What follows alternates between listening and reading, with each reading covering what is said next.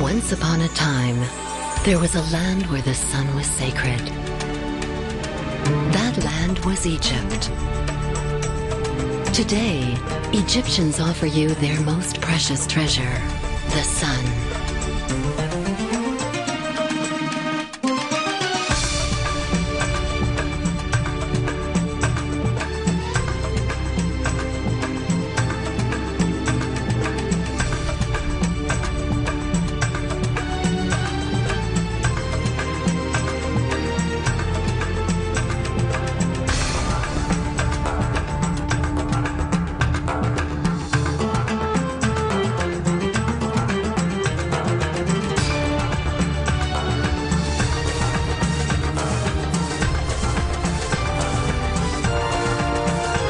nothing compares to Egypt.